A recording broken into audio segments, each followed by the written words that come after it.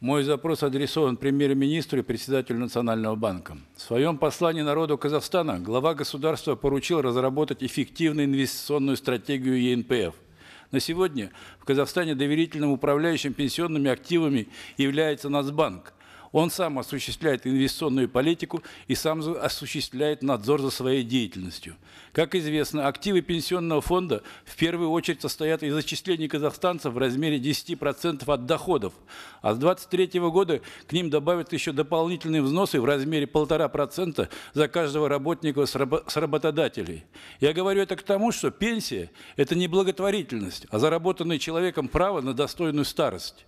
9 сентября на встрече в Министерстве труда и социальной защиты активисты движения за снижение пенсионного возраста в Казахстане высказали большое общественное недовольство эффективностью работы ЕНПФ. Так, за 7 месяцев 2022 года доходность активов ЕНПФ составила всего 9,6% годовых, в то время как годовая инфляция уже на сегодня составляет 16,1%. То есть реальная доходность пенсионных накоплений отрицательная. Можно твердо сказать, что у ИНПФ нет эффективной инвестиционной стратегии. 44 процента активов ЕНПФ вложено в облигации Минфина. И основная доходность ЕНПФ обеспечивается опять же за счет бюджета. По факту получается, что они залезли на шею бюджета и свесили ноги, так, по доход, так как доходности по другим инструментам фактически нету.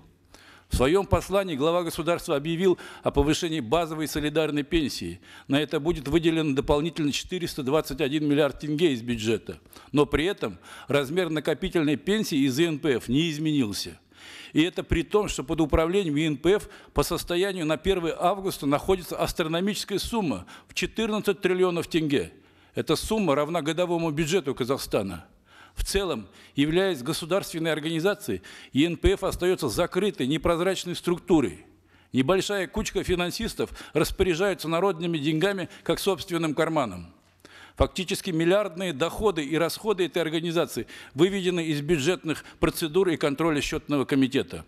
На сегодня административные расходы ЕНПФ достигли 13 миллиардов тенге – для сравнения, ежегодные административные расходы всего Министерства труда и социальной защиты, которое ответственно за всю социальную политику в стране, не превышают 10 миллиардов тенге.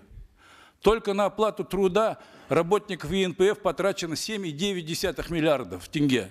В раздутой структуре ЕНПФ работает 1495 человек. Вопрос, за чей счет это финансовое изобилие? Ответ очень прост. За счет казахстанцев. Вернее, за счет взносов, которые они платят в ЕНПФ. ЕНПФ взимает с каждого вкладчика комиссию от суммы инвестиционного дохода и от, пенсион, от пенсионных активов. В 2021 году комиссия ЕНПФ превысила 15 миллиардов тенге. Кроме того, дополнительно получает доходы по операциям с ценными бумагами.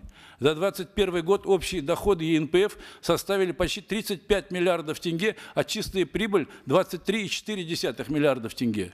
Удивительно, но своими деньгами они управляют гораздо эффективнее, чем деньгами вкладчиков. При этом дивиденды акционеру, то есть правительству, не выплачиваются. За годы своего существования ЕНПФ, благодаря этим комиссиям, взимаемым с пенсионных взносов казахстанцев, накопил нераспределенную прибыль в 211 миллиардов тенге. И вся эта прибыль остается в непосредственном распоряжении ЕНПФ, управляется и распределяется ими по своему усмотрению. Подчеркну, это юридически уже не деньги вкладчиков, это как бы уже собственные средства ЕНПФ.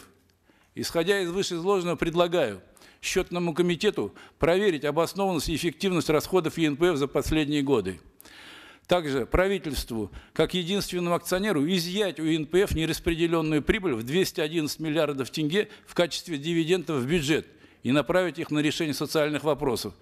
Например, э, возможность э, для категории женщин, имеющих достаточно стажа и накопления для выхода на пенсию в 58 лет по желанию рассмотреть вопрос о передаче НПФ в прямое ведение правительства, возможно, под управлением Министерства труда и социальной защиты населения. С уважением, депутат, член фракции Аманат Джамалов.